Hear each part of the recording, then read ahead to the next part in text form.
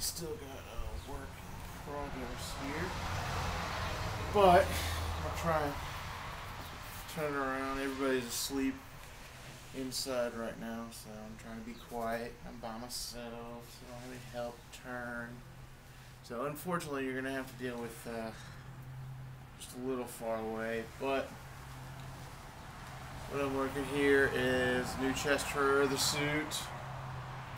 Oh, I took flying squirrels chest model and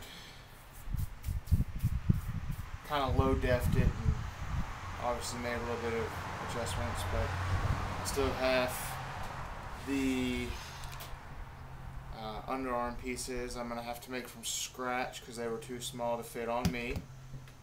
Yes, this is a tape molded me. It's not the prettiest thing in the world, but uh, also of the places where he had details, I actually removed all of the insets just to give myself a little bit more room in the armor and kind of flatten them out.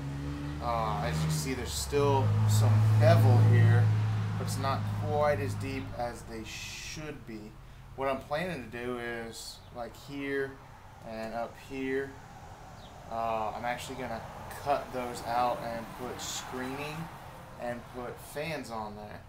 Uh, here I'm actually going to cut this entire part out because I plan on having a spine on mine. Uh, here I'll actually fill in later on. I'm trying to get it smoothed out. So just a little update on the current space bra.